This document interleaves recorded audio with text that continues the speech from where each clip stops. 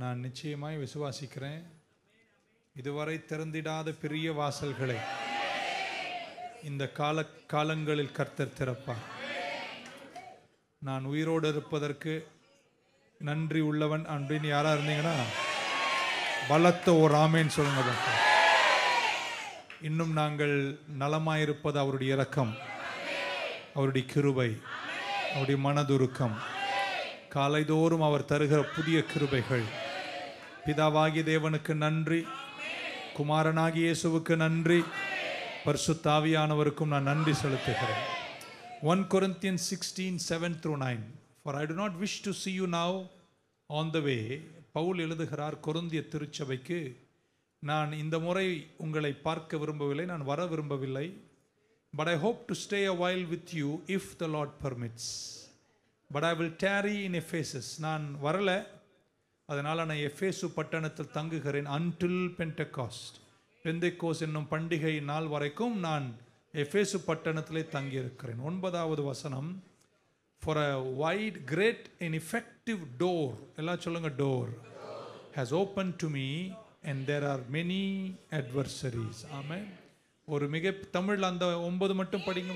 ஏனெனில் இங்கே பெரிதும் அனுகூலமான கதவு எனக்கு திறக்கப்பட்டிருக்கிறது. விரோதம் செய்கிறவர்களும் அநேகர் இருக்கிறேன். திரும்ப இங்கிலீஷில் படிக்கிறேன். For a great great and effective door has open to me but அப்படியே எழுதிருக்கு. பட் வருதா எண்டு வருதா? எண்டு அதுவே ஒரு பெரிய ஆழம். And there are many adversaries வாய்ப்புகளை இழந்தவர்கள் தான் நாம் எல்லோருமே. சில வாய்ப்புகளை நாம் இழந்தது நமக்கு வேதனை கொண்டு வந்தது. இன்னைக்கு நம்ம வருந்துகிறோம். இந்த காலகட்டங்களில் கர்த்தருடைய தெளிவான வாய்ப்புகள் உங்கள் வாழ்க்கையில் திறக்கும்போது மேக்சிமம் அட்வான்டேஜ் எடுங்க. காலங்கள் குறுகியது.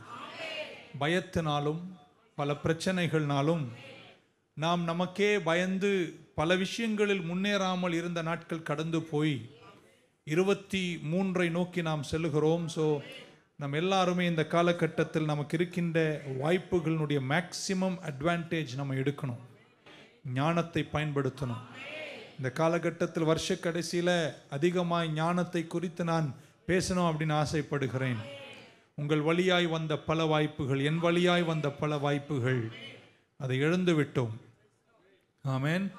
அதை நன்று பயன்படுத்தி இருந்தால் எவ்வளோ பர்சனல் கெயின் எவ்வளோ ப்ராஃபிட் எவ்வளோ உயரங்கள் நாம் கண்டிருப்போம் என்று நான் சில நேரம் சிந்திக்கிறேன். ஆனால் இழந்ததை குறித்து யாரும் கவலைப்படாதிருங்கள். அதை விட நல்ல ஒரு வாசலை கர்த்தர் திறப்பார். என் ஆண்டவர் இரக்கமுள்ள தேவன் அன்புள்ள தெய்வம் is a kind and gracious God he will give you another opportunity நீங்கள் இன்னும் முன்னேறுவீர்கள். அவருடைய திட்டத்தில் அவருடைய செயல்களுக்குள்ளே கர்த்தர் உங்களை நடத்துவார். இந்த பதினாறாம் அதிகாரத்தில் கொருந்து சபைக்கு அப்போஸ்தலனாகிய பவுல் தன்னுடைய கடிதத்தை நிருபத்தை எழுதுகிறார். அவருடைய மூன்றாவது மிஷினரி பயணத்தில் ஆமேன். அவர் ரெண்டாவது மிஷினரி பயணத்தில் கொருந்து பட்டணத்தை சந்தித்து கொருந்து பட்டணத்தில் ஒரு திருச்சபையை ஸ்தாபித்தார். மூன்றாவது மிஷினரி பயணத்தில் பல கேள்விகளை கொருந்து திருச்சபை அவரிடத்தில் கேட்கிறது. இதெல்லாம் எது எதுன்னு பல கேள்விகள் கேட்கிறார். அந்த கேள்விகளுக்கு பதில்களை சொல்லும் விதமாகவும் அதே நேரத்தில் கிட்டத்தட்ட ஏடி ஐம்பத்தஞ்சு இருக்கும். இதை எழுதும்போது நான் எப்பேசு பட்டணத்தில் இருக்கிறேன். இந்த முறை நான் உங்களை சந்திக்க வரவில்லை.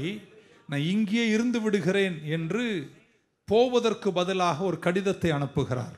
அதுதான் இங்கே நம்ம வாசிக்கிறோம். நான் எப்பேசு பட்டணத்தில் இருக்கிறேன் ஆனால் கொருந்துக்கு நான் வரமாட்டேன் வரவில்லை. காரணம் இதுவரைக்கும் இல்லாத ஒரு மிகப்பெரிய வாசலை கர்த்தர் எனக்கு திறந்திருக்கிறார். A very effectual door is open unto me. So I am going to stay in Ephesus. எப்பேசில் நான் தங்க போகிறேன் நான் கொருந்துக்கு வரல. ஆனால் உங்கள் கேள்விகளுக்கெல்லாம் பதிலாக இந்த நிருபத்தை நான் உங்களுக்கு அனுப்புகிறேன். ஆமேன். ஆனால் நான் வராததுக்கு ஒரே ஒரு காரணம் தான் அவர் சொல்கிறார். எனக்கு முன்பாக ஒரு பெரிய வாசலை கர்த்தர் திறந்திருக்கிறார். ஒரு பெரிய வாய்ப்பின் வாசலை கர்த்தர் திறங்குகிறார் அந்த வாசல் மிக விரிவானது. அந்த வாசல் ரொம்ப ஆப்ரேட்டிவானது ஒரு அவுட்ஸ்டாண்டிங் வாசல். நான் அதனுடைய நடக்க வேண்டும். அது நன்மைகளை நான் காண வேண்டும். இந்த நேரம் நான் அந்த வாசலை விட்டுட்டு அங்கே வந்துட்டேன்னா உள்ளதும் இல்லடா. அப்படின்னு ஒன்று சொல்லுவாங்க பாருங்கள் அது ஆயிடக்கூடாதனால நான் இந்த வாசல் நூடை அதனால் நான் கொருந்து பட்டணத்துக்கு வரவில்லை என்று பவுல் தன் நிருபத்தில் எழுதுகிறார். ஆமேம் ஸோ ஆகையால் இந்த கடிதத்தை எழுதி சபைக்குள்ளே இருக்கின்ற பிரச்சனைகளை குறித்து என்னிடத்தில் கேட்ட கேள்விகளுக்கு ரிசால்வாக சொல்யூஷனாக இந்த கடிதத்தை நான் உங்களுக்கு எழுதுகிறேன் என்று சொல்லிவிட்டு இந்த நிருபத்தை அவர் எழுதுகிறார். இந்த ரெண்டு மூணு வசனத்தில் எவ்வளோ ஆழங்கள் இருக்குன்னு நான் பார்க்கிறேன். நம்ம வாழ்க்கையில் நான் விசுவாசிக்கிற இந்த காலங்களில் கர்த்தர் இதுவரையும் திறந்திடாத வைட் ஆப்ரேட்டிவ் இஃபெக்டிவ் டோர் வாசலை கர்த்தர் திறப்பார். ஆமேன் பக்க சொல்லுங்க. வா- வாய்ப்பினுடைய வாசல்கள் அப்படின்னு சொல்லுங்க பார்க்கலாம் ஹலோ லோயா இப்படி இந்த வார்த்தை சொல்லும்போது நீங்கள் ஆமீன். வாசலை மட்டும் திறப்பதல்ல.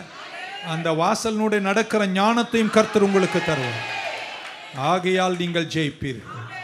இப்போ ஒன்றா முதலாவது இப்படி பவுல் அந்த வாசலை அந்த வாய்ப்பின் வாசலை என்னவாக லேபிள் பண்ணுகிறார் என்றால் இட் இஸ் அ டோர் அப்படின்றார். Wide wide ineffective door door என்ற வார்த்தை பயன்படுத்துகிறார். ஐ மீன் இங்கிலீஷில் சொல்லுங்களேன் டோர் ஆமேன் நிஜமான ஒரு கதவல்ல மெட்டஃபாரிக்காக எக்ஸாம்பிளாக ஃபிகரேட்டிவாக அவர் ஒரு டோர் என்ற வார்த்தையை வாசல் என்ற வார்த்தையை பயன்படுத்துகிறார். ரெண்டு இப்படி யோசிக்கணும்.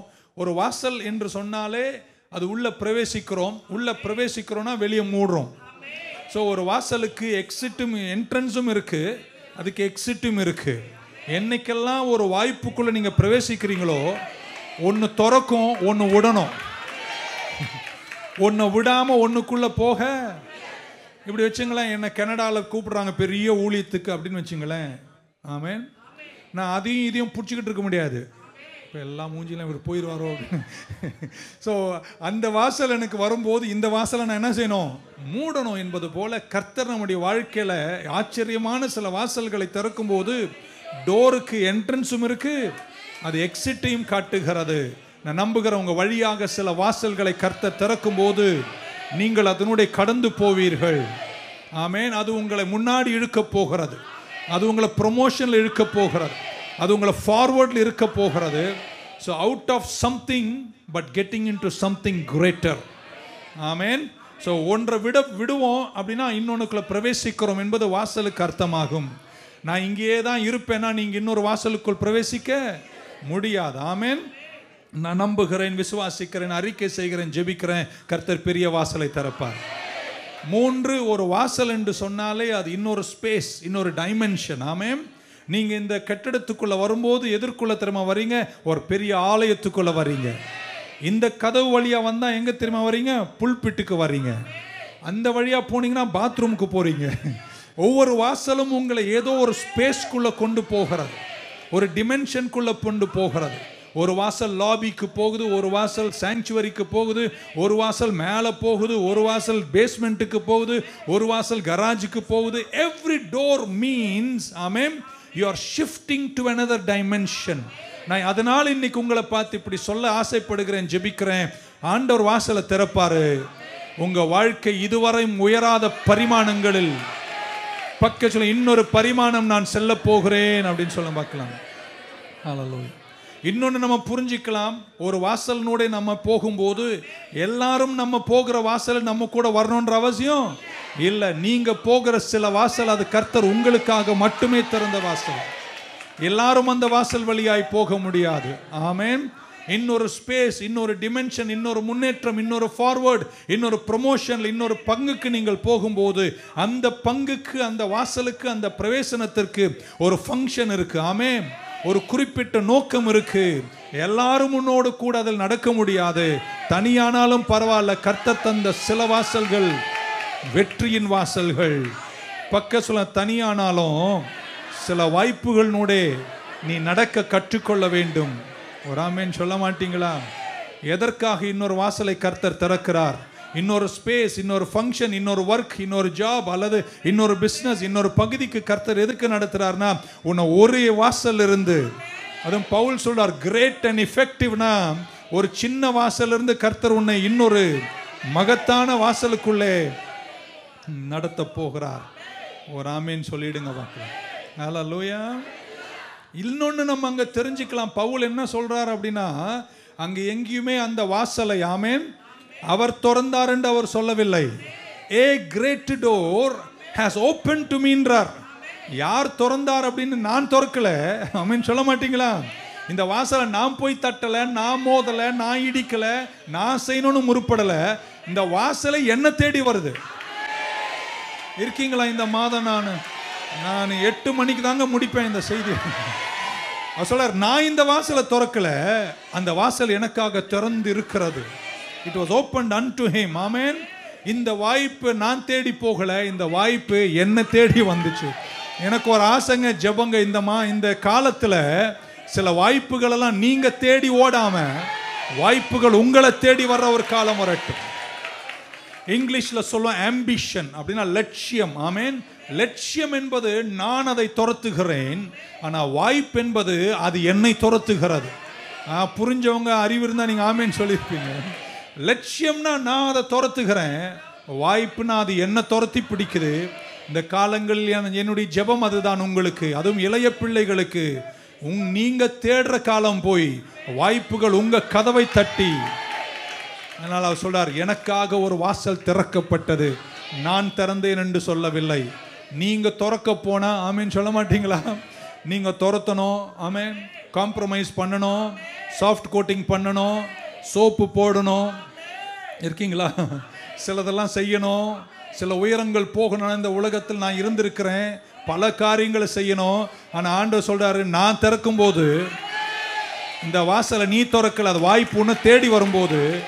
இருக்கீங்களாங்க? உங்க நீங்க எத்தனை பேர் நம்புறீங்க? சில வாசலெல்லாம் உங்களை தேடி வரும்போது நீங்க யாரையும் காயப்படுத்த வேணாம் யாரையும் ஹர்ட் பண்ண வேணாம் யாரையும் உடைக்க வேணாம் யாருக்கும் இந்த தீங்கு செய்ய வேணாம். ஏன்னா நீங்க தேடி போகல அது உங்களை தேடி வந்து. ஆமேன்னு சொல்ல மாட்டீங்களா? பக்கம் சொல்ல எனக்காகவே ஒரு வாசல். ஆம்பி ஆம்பிஷன்னா நான் தேடி ஓடுறேன். வாய்ப்பு என்பது என்ன தேடி வருது. அதனால வாய்ப்பையும் லட்சியத்தையும் நம்ம இணைக்கவே முடியாத. வாய்ப்பு வேற லட்சியம் வேற. சிலதை நம்ம துரத்தி ஓடணும். ஆனால் நிறைய நேரம் தேவ பிள்ளைகளுக்கு சிலது உங்களை துரத்தி பிடிக்கிற மாதிரி கர்த்தர் வாசல்களை திறப்பாராக.